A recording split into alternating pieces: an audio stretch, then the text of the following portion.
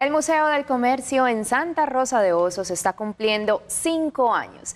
Juan Gonzalo Benítez, ¿cuántos objetos tiene expuestos este museo? Muy buenas tardes. Hola, muy buenas tardes.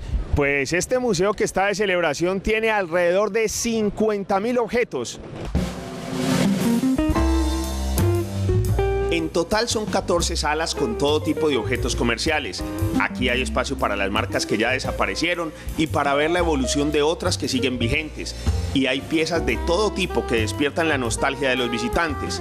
El museo es el resultado de cinco generaciones de coleccionistas en la misma familia.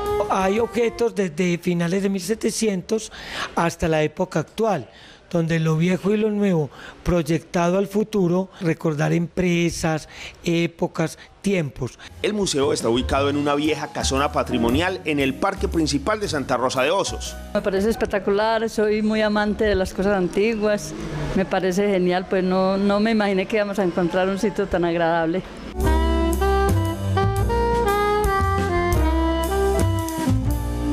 Nunca había visto un museo tan como el que estamos viendo en este momento porque o sea, es una forma como de, recopilar todas las antiguas, todo lo que va pasando a través de la historia, ¿no es cierto?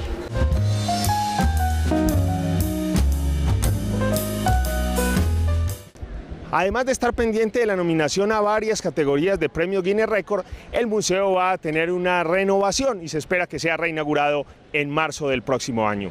Desde Santa Rosa de Osos, en el norte de Antioquia, Juan Gonzalo Benítez en la hora 3.